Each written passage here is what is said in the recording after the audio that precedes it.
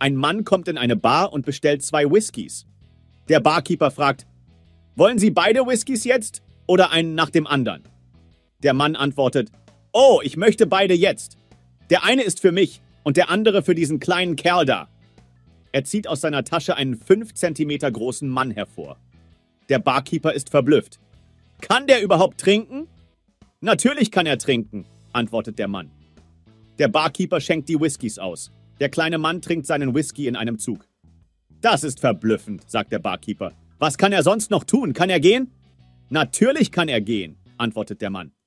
Er wirft eine Münze ans andere Ende des Tresens und sagt, Manfred, hol mir die Münze! Der kleine Mann rennt ans andere Ende des Tresens, hebt die Münze auf und bringt sie zurück.